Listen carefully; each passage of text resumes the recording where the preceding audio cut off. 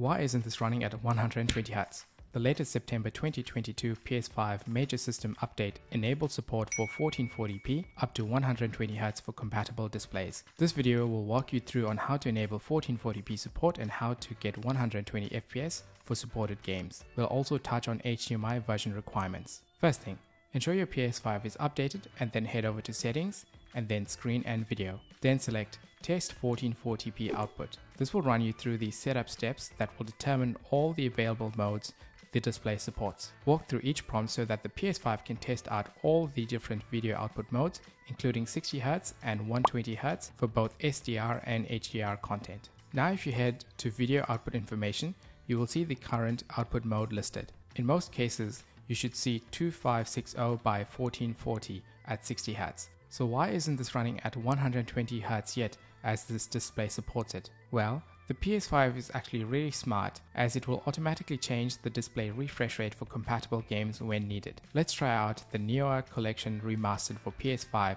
which supports 120 FPS. Start the game and then select the system option on the main menu. Then go to game mode settings and then change the mode to 120 FPS mode. Now if you press the PS button on your controller and then navigate to the screen and video settings, you should see the updated resolution and refresh rate to be 120Hz in the video output information screen. I'll throw a list of compatible 120 FPS games down in the description which should enable 120Hz if your 1440p display supports it. If you now switch over to another game like Gran Turismo 7 and then go back to the video output information, you will see the output is 60Hz.